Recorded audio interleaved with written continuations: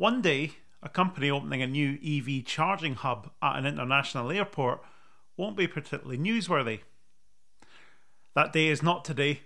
This is GridServe's third electric forecourt at London Gatwick Airport.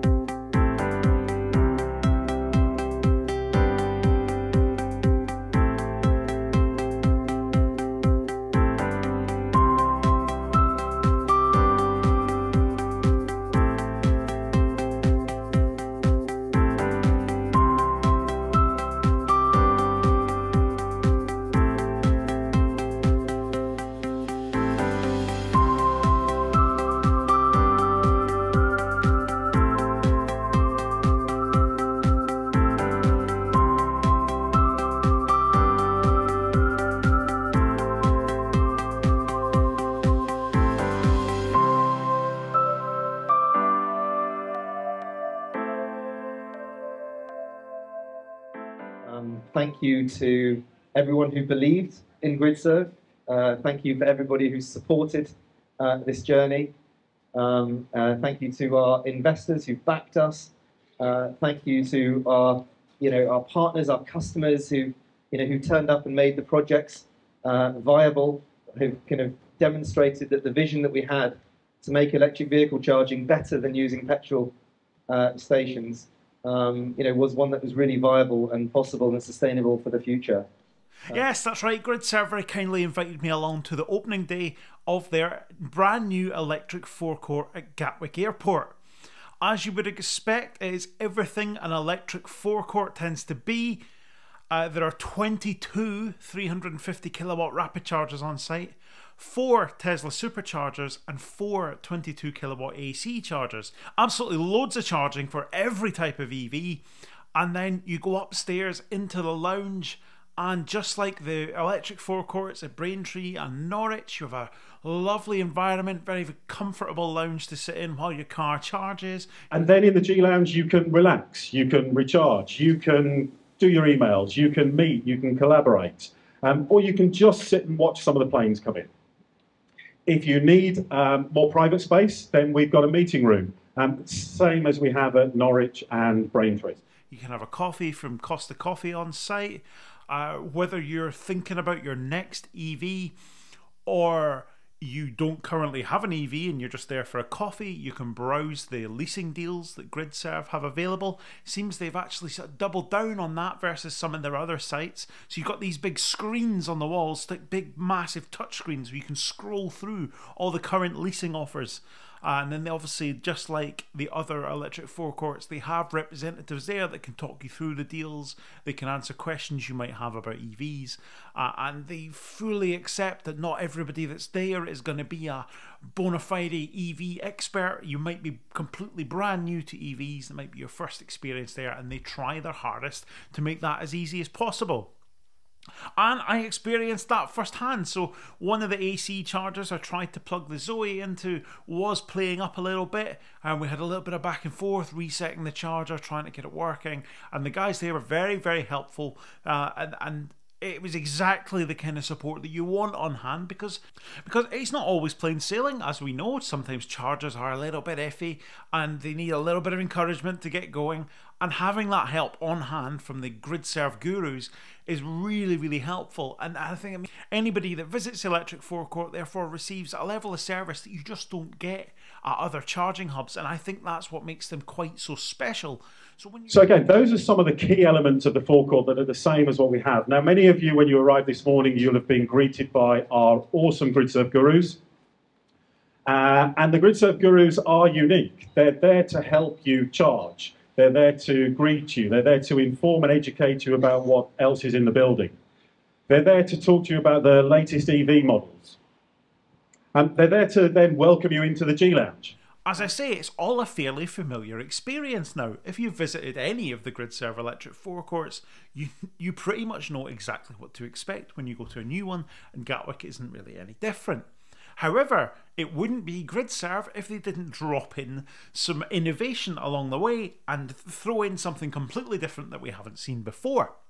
The on site shop is at Little Fresh by Simply Fresh and it uses Amazon's Just Walk Out technology. Now, you might have heard of this, and if you haven't, basically what it is is there are no tills in the store. There's no one there to, to serve you. There was someone in the store stacking shelves and making sure everything was in order, but they're not there to check you out at all. So that also does mean there's no queuing. So we said, like, what's wrong with shopping in a store? And the answer we came up with was checkout lines. Um, people don't like checkout lines. Uh, it turns out they didn't like checkout lines in 1924. They don't like checkout lines in 2024. They're not going to like checkout lines in 2124. Right? They don't like checkout lines in the US, they don't like them in the UK, and they don't like them in Australia. And so the problem of lines in a store is really this problem that transcends time, it transcends space. And so if you focus on solving a big problem like that, you're going to deliver long-term value to customers. Well, So you walk into the store having scanned your payment method, whether that be a, a, contactless credit or debit card, or you can use like Apple Pay or Android Pay on your phone, and it lets you in. And while you're in there, it's tracking anything that you take off the shelf or put back or whatever. And then by the time you leave, it knows exactly what you've taken, and you, as the name suggests, just walk out. Now, it's quite remarkable if you haven't seen it before and it does work really, really well. I actually filmed myself doing this. I put a GoPro on my head and filmed myself doing this. And the footage is a little bit dodgy because there was lots and lots of LED lights in there, and, and I, I think I've got, got the wrong setting on the camera. So there's a lot of flicker. Uh, and if you want to skip forward past this kind of flickery footage, I'll put the time code where you need to skip to, and I'll also put a chapter in so you can click forward if you want as well. But if you want to see this tech in action, here's the video of me doing just that.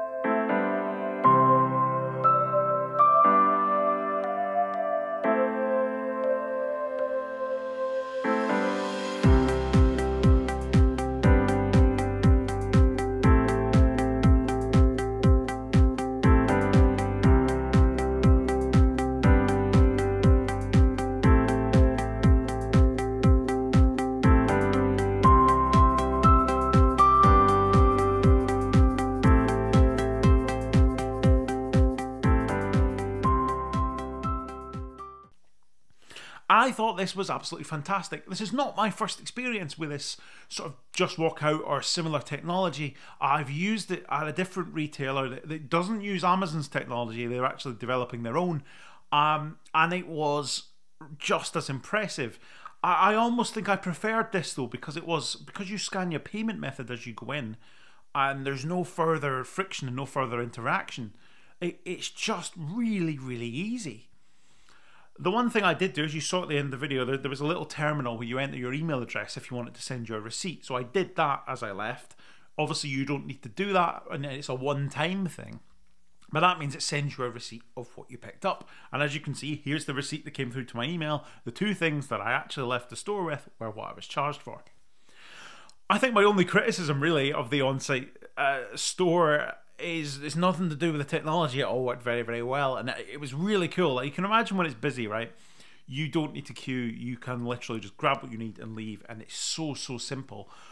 Uh, the prices, though, it was quite pricey. I will say that. I mean, it was uh, five pound eighty nine for a sandwich and a drink, and they didn't seem to have any kind of meal deal type offering, anything like that. There was no promotional offers. Everything was just sort of the price it was.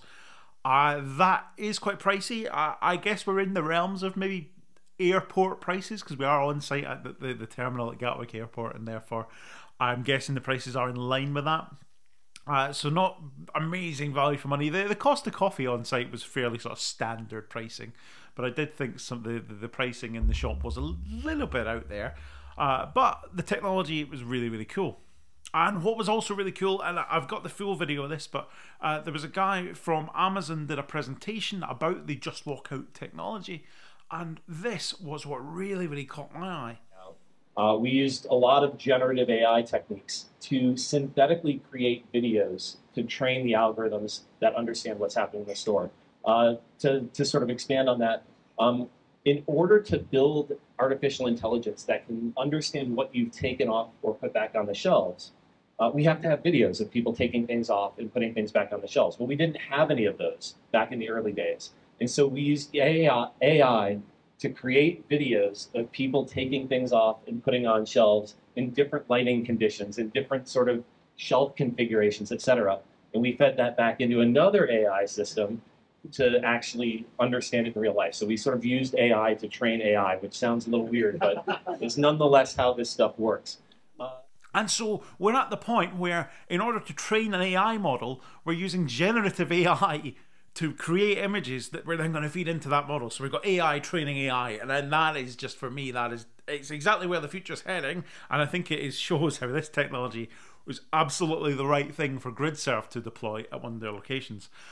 After all, if you are going to be the replacement for the petrol forecourt, and I have no doubt in my mind that that's exactly what the GridServe electric forecourt is. It is the modern replacement for the petrol forecourt then you're going to deploy technology in it that is absolutely the modern replacement for that thing.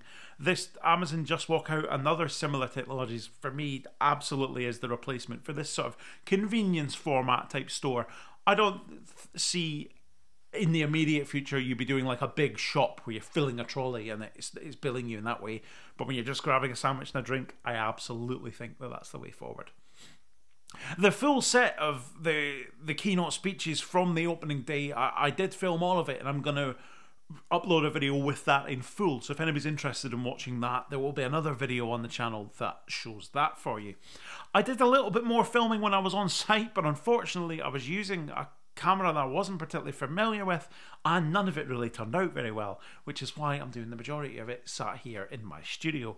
So not ideal, uh, and I always find that when you go to some of these events and stuff, you've got a limited amount of time to, to get the filming done that you need to do. It doesn't always work out that well, and I think that's definitely one of the downsides of being sort of one man band. I don't have someone operating the camera for me, and so it doesn't always work out. But there you go. That was a whistle stop introduction into the Gatwick Electric Forecourt. Uh, it was amazing. I cannot wait to see more and more of these propping up. See, GridServe ha- have massive ambitions for the amount of these they want to roll out across the country. And, and so, just briefly on GridServe, what are we doing? Um, we are doubling down. Um, I think pretty much every year we double our output. And if we continue to double our output every year, um, then we really have an opportunity to, uh, to meet the challenge um, with the exponential amount of energy that's required, uh, obviously net zero, clean energy, uh, to transform this. And if everybody else in this room, you know, was to embrace that as an objective, every year we're going to double down. We're going to double our objectives and what we achieved last year. Then you know what? We will knock this out of the park. Um, and uh, and I, I, you know, I have real confidence um, based on what has been achieved and how many times people, you know, in the past have, you know, questioned whether this progress can be can be delivered. But we've, you know, time and again knocked goals over uh, and, and able to, to demonstrate, you know, not only can can we deliver impact, but we can deliver it now in a way that's better than petrol and diesel, more cost effective, uh, and creates, you know, prosperity and economic opportunities as well as the environmental uh, challenges that we must address. So please, as another takeaway, uh, you know, if everyone can embrace the concept of doubling down, you know, double down, double up, you know, if you can achieve twice the impact next year that you achieved this year, and so on, then we really have a chance. And that's certainly what GridServe are doing as well. and So- they are getting there. It might be taking a little bit longer than some of you might be expecting, but I think you need to appreciate the massive amount of effort that goes into this. And as always, GridServe absolutely knocking it out of the park. I, I, I absolutely love what they're doing, I love the electric forecourt concept, and I cannot wait to see more of them.